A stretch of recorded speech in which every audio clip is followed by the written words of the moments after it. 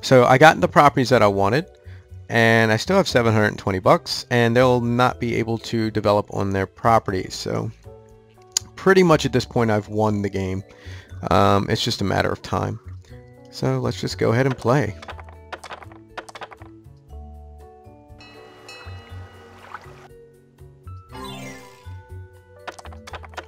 $450 for me. $400 for me.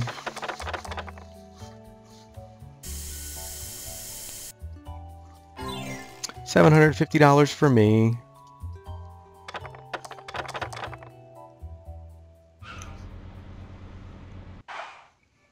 Another set. Nope, that's me.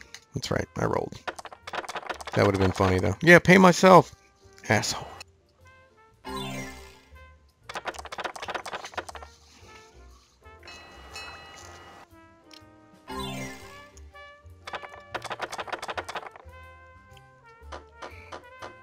And really what you want to do is try to get the properties in between the jail and the go to jail squares um, around that edge. It's ultimately going to be your best monopolies. And the reason is because uh, that's where most people, that's where you end up, the players end up being on that is that side of the board. Um, along this, um, along this side here and this side here.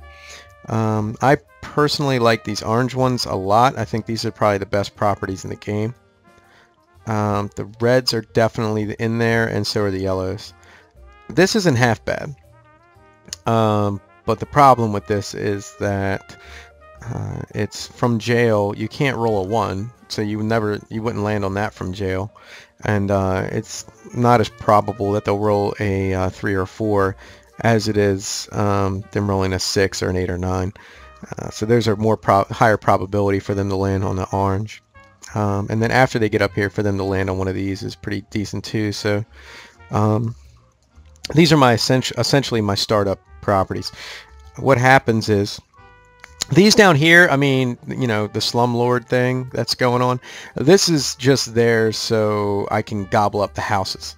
Uh, at a lower cost. It only costs $50 to build a house. So it literally cost me $1,000 to put four houses on every one of these five properties and that's it and I'm tying up 20 houses uh, the, the other remaining 12 houses I just put on here cost me 1200 bucks so you know through and through the only reason I really have this bottom area is mainly just to hoard the houses um, that's really the strategy of the game is to control your your opponents so that they can't they can't develop. Like, see, he's got two monopolies. You know, he's got the monopoly, the greens, and Boardwalk and Park Place here. Um, yellow has this monopoly here, which is definitely a rock solid monopoly, but he can't develop on it because I'm tying up all the houses. Same thing here. Purple's got the purple, so, but he can't develop because I'm tying up the houses. Um, and that's the name of the game, really. Um, once you, if you play this style, um, you really only have two enemies, and your two enemies are two cards, one in Community Chest and one in Chance. Um, all they are is, um, it's like if you land on Chance, you'll get a card that'll be like make general repairs or some, some shit like that, and you gotta like, I don't know, pay like $25 for each house you got and 100 bucks for every hotel you got.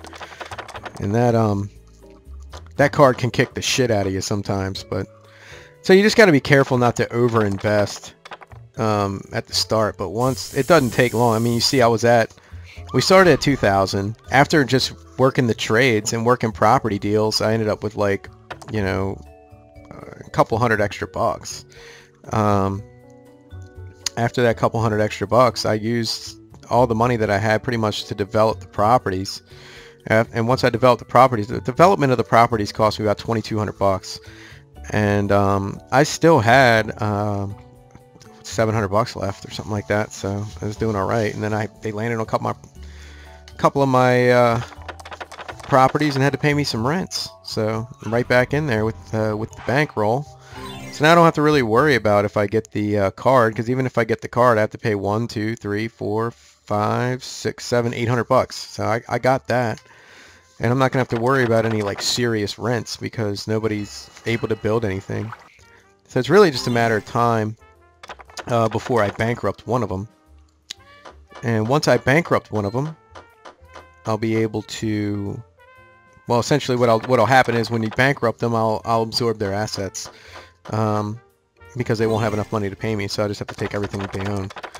Uh, once I do that, then it's just, you know, develop those with the money that I have. You know, we got to be careful again not to overinvest though in case you get that card. Really, that's all you got to worry about is that card.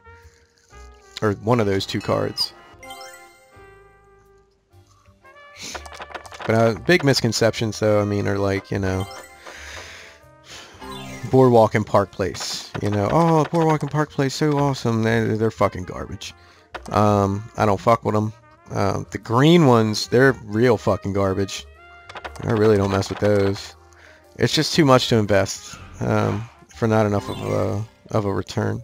I mean, for instance, if I click on this property, you can see that, you know, it cost me $200 for a house.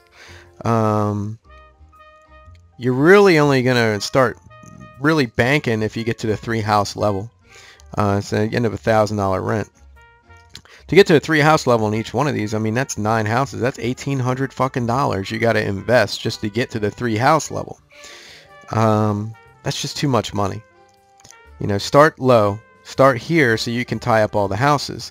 And what will happen is these houses will essentially get you a nice income um, as the players land on it, and it will bankrupt them because event they can't. You you're not going to pay out as much money as they're going to pay you. Uh, once you have built up a nice bankroll and you absorb a um, you absorb another player's properties and assets, um, you'll take their bankroll, whatever they got. Normally, it's not too much cash. Um, and then you'll take their properties. You just more uh, unmortgage the properties if they're mortgaged, and then you start to invest in those properties.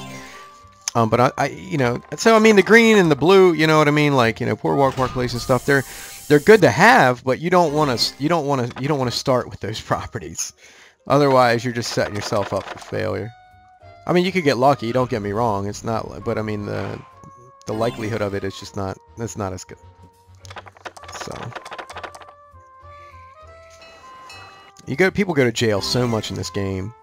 Um, that's why it's good to have the. You got a lot of you know, go straight to jail. Do not collect two hundred dollars. Not pass go. Whatever the fuck you know. So, you know, with that being a situation or a, a certain aspect of the game that you know, like you don't. If you have that row, like the the green and the boardwalk and park place. Um, a lot of times players don't even see that side of the board because they end up going to jail or they get like a pass, you know, go directly to go or whatever. So, you know, this side of the board is not is seen less than all the other sides. Um, and the two sides of the board that are that are touched the most are going to be this side and this side. So that's what those are the sides you really want to focus on um, developing properties first. Uh, the, and again, the only reason I do this lower side is just to hort the houses.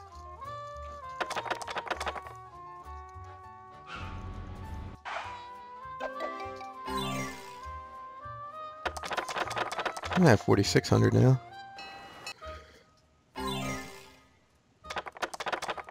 The worst is when you like crush a player and he has like nothing left and then he lands on somebody's like shit ass rent and then like that guy gets all his property. So have to piss you off. Or like they land on income tax. And then like all their properties go back to the bank.